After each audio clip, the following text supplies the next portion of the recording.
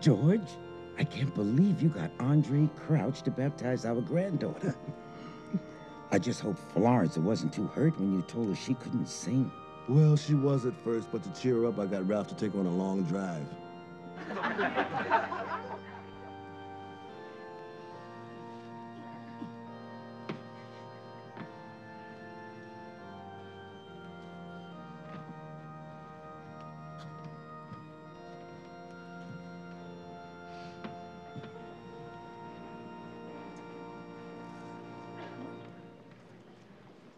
Now, I know a lot of you are surprised to see me here this morning. Uh-huh.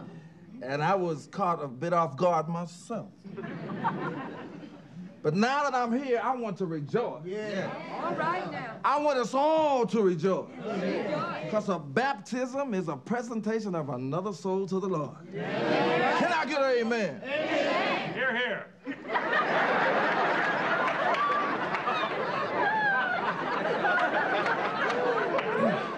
Now, I would not be here today were it not for the efforts of a very special man. Amen. A kind man. Amen. A considerate man. Amen. The Reverend George Jefferson. Say what?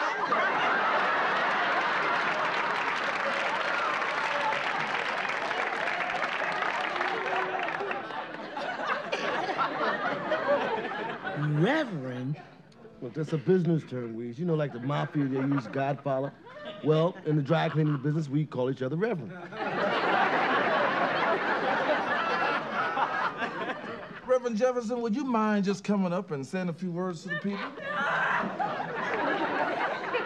Come on now, let everybody take a good look at you. He's so modest. Come on, come on.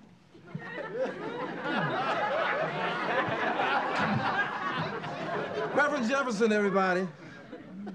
Say a few words to the congregation. God bless you. Um, hi. Uh, as I look out over the congregation, I'm reminded of that old parable about the rich camel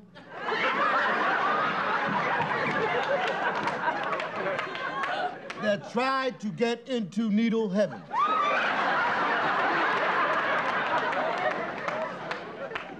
But I won't bore you with that. I tell you what, why don't we take this moment to bow our heads in silent prayer?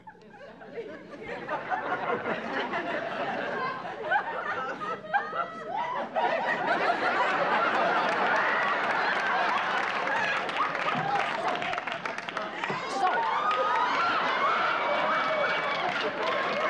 So Ralph was gonna pick us up and get us here on time, you said. Oh, I bet you use my van, you said. So you can ride in comfort, you said.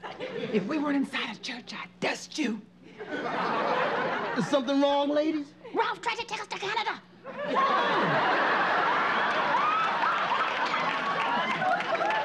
Well, did you have a nice trip? Lovely until we hit the moose.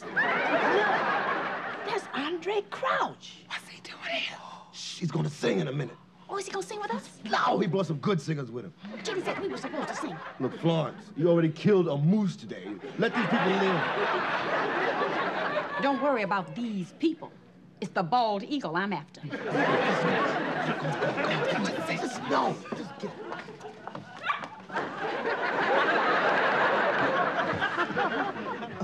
Very inspiring. Tell me, what do you do at your Easter service? Sack out on the pews? Look, I gotta tell you something, Reverend. Um, I know, I know. You're not a real reverend. you knew all along? Mm-hmm. Well, but how? Was my delivery, my walk?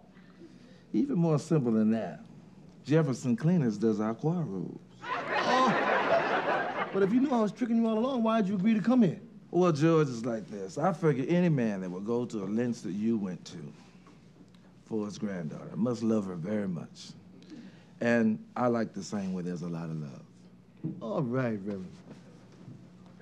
Amen.